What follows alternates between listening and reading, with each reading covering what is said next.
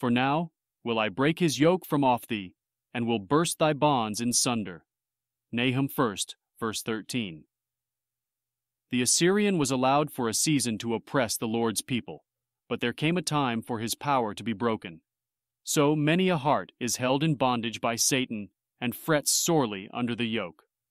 Oh, that to such prisoners of hope the word of the Lord may come at once, according to the text, Now will I break his yoke from off thee, and will burst thy bonds in sunder. See, the Lord promises a present deliverance. Now will I break his yoke from off thee. Believe for immediate freedom, and according to thy faith, so shall it be unto thee at this very hour. When God saith, Now, let no man say, Tomorrow. See how complete the rescue is to be. For the yoke is not to be removed but broken, and the bonds are not to be untied but burst asunder. Here is a display of divine force which guarantees that the oppressor shall not return. His yoke is broken. We cannot again be bowed down by its weight. His bonds are burst asunder they can no longer hold us. Oh, to believe in Jesus for complete and everlasting emancipation.